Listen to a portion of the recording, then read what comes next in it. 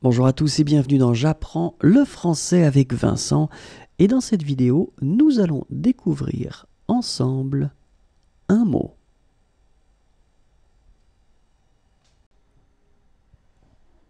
Un homard. Un homard. Un homard. Au revoir et à bientôt.